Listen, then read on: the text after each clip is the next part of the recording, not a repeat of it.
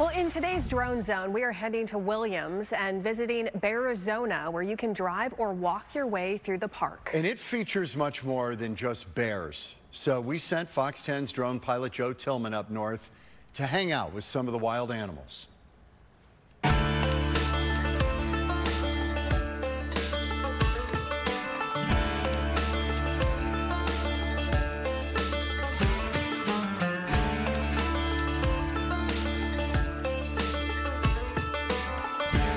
Hi, my name is Dave O'Connell. I am the COO at Bearizona Wildlife Park.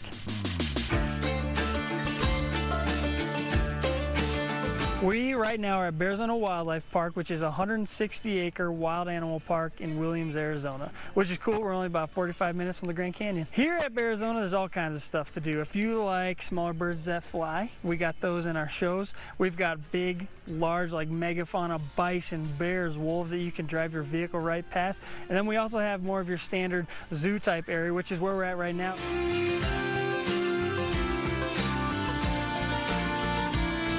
So right as you enter Bearizona, which is really cool because you can see mountain goats across a cattle guard. It looks like Jurassic Park as you're getting. And you drive in this cool canyon built for the mountain goats. You see those species. We have reindeer, mule deer, and a whole bunch of those larger megafauna. So once we get through mountain goat, we'll cruise right into our reindeer enclosure, which is a pretty big enclosure for five, six reindeer, which is awesome. And then from there, we cruise into our wolf enclosures. And as you're going in there, remember keep your windows up, doors locked, because they're wolves.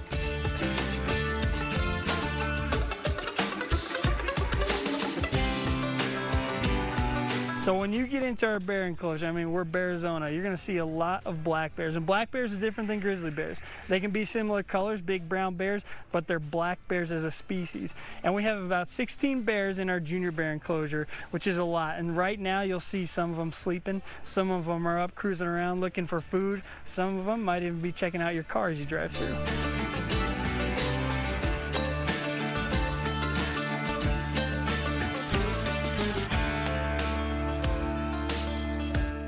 So after you leave Junior Bear, you cruise into our bison enclosure, which is cool because it's a big prairie, just where what you'd imagine a, a, bison to be in. We have that. And there's huge, there's about 40 acres out there for the bison to roam. We have both white bison and brown bison in the enclosure.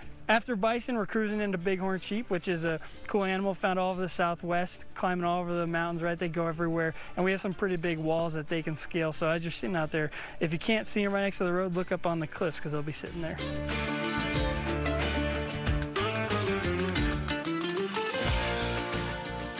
When you're here, you're going to get all the experience you get if you went to any big zoo in the country, but also it's a really personalized place because we have so much staff who cares about interacting with all of our guests. So I'd say it's a place that, you know, Bearizona's a place that has a big heart.